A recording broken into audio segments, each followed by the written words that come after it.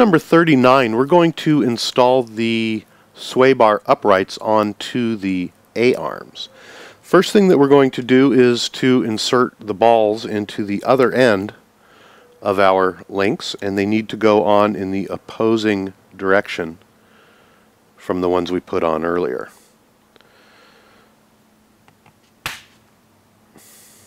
So that's what it's going to look like. Going to do that on both of them.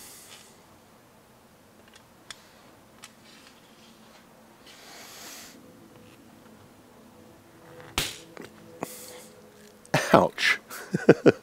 okay, so now that we have those on, let's move to the next step. We're going to set those out of the way. On the, going to turn our chassis upside down for the moment here.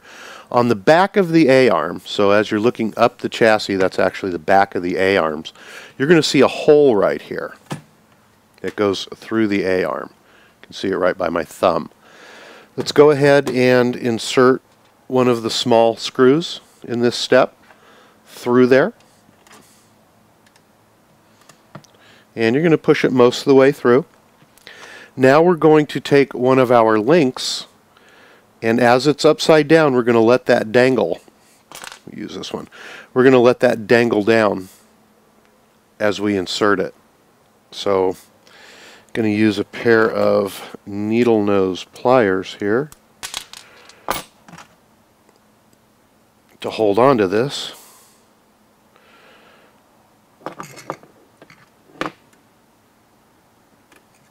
And Put a little Loctite on.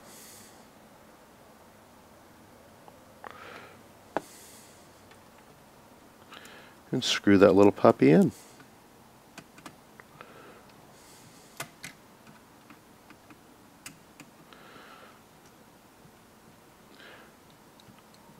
Once you get it tight, you're not going to be able to hold on to it really well with the needle nose. So go ahead and use that little 7 millimeter wrench that came in your kit that fits right over that ball and go ahead and snug them down real good. We're going to go ahead and repeat this process for you on the other side at a different angle so that you can see what's going on. Hopefully it'll give you a better idea. Going to stick that through, put some thread lock A little too much there. Use our needle nose.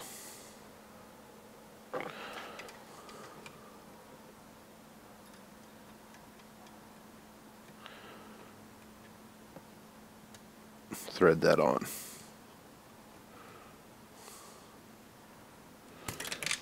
Supposedly. It's really fun trying to work for the camera and hold things at weird, odd angles. So that's why I'm having the troubles that I am here. It's not that difficult. There we go. Screws right in.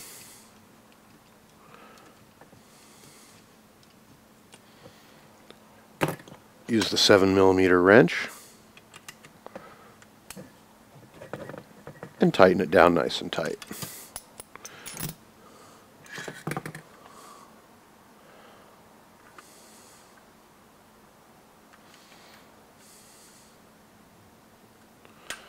That's what they look like at the moment.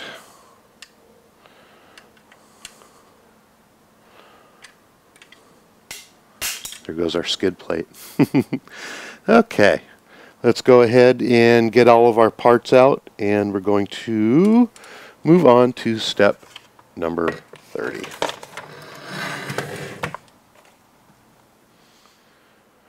Going to continue on now with step number 40 and install the sway bar onto the front of our Baja. I've gone ahead and pre-installed the two nuts on the top of this unit right here. Just press them in and we'll be ready to go. The next thing we're going to do is to install two small set screws into the top of that same unit. They're the teeny tiny little ones. There should be four of them in there that we're going to use in two different places. And those are going to install right into the hole here. You want to screw it in just till it's about even. We're going to use those to adjust the sway bar in a little bit. So go ahead and screw both of those in. Then we're going to take the other two set screws and we're going to put them into the metal part of our sway bar link that we installed earlier. I'm not sure why the directions didn't have us do that before, but we're going to do it now. And we're going to put just a small dab of Loctite on them.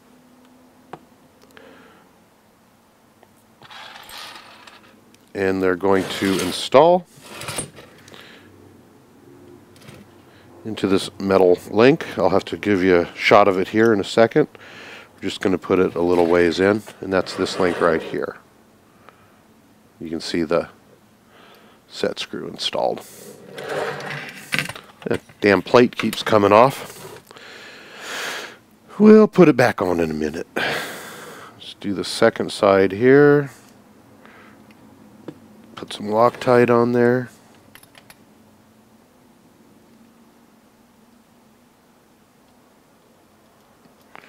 Screw it in a little ways. There we go. Now, we are going to take these two little pieces here and you can see on the back there's a hex. It's almost like a nut. Focus. There we go. And those are going to press right down into the front of the bulkhead here, one on each side where you see the hex. And go ahead and make sure that they press all the way down in.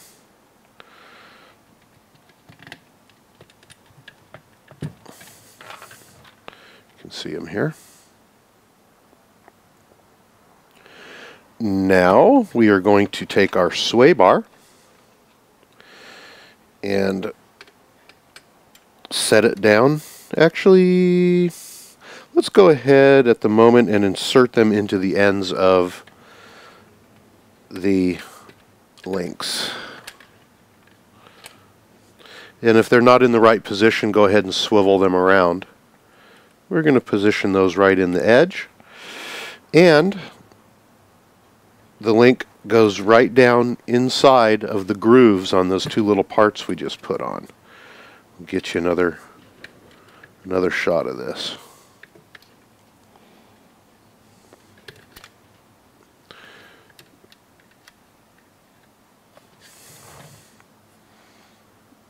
Fit right down into that groove. Now comes the tricky part. We're going to take this unit and with the nuts that we installed facing up and the set screws facing towards the outside, we're going to set that right on top to pinch the sway bar. That piece just sits right on top of the sway bar. Now, the tricky part Let's hold that into place and turn the chassis over. Going to make sure that that's in place properly and doesn't get moved around. And we're going to insert the two screws through the skid plate holes to hold that sway bar into place.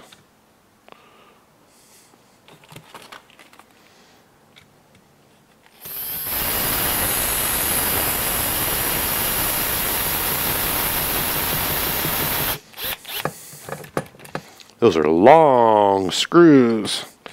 This is where you know you want a power driver if you don't have one. After you get done with these, your forearms will be sore. Go ahead and make sure those are cranked down. Let's come back and double check the sway bar to make sure it's not pinched.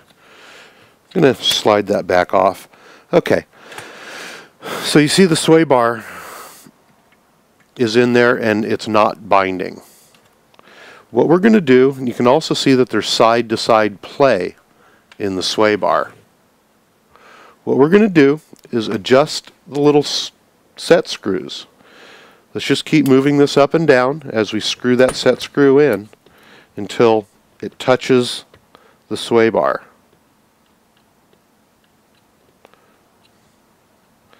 And it's going to be quite a ways in. Okay, just when you feel it touch the sway bar, now the sway bar is not going to be independently active. Okay, so I'm going to lift that up, going to back it off just a little bit until the sway bar is loose again. And what we're doing is we're just taking up the play inside there. And we don't want the sway bar to bind, so we're going to screw that screw in just until it touches the sway bar. And then back it out about a quarter turn. Now we're going to insert the sway bar into the sway bar link. Going to press it all the way in. All the way. And then tighten up the set screw.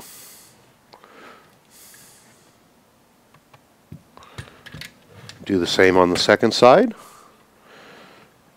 And we now have an installed sway bar.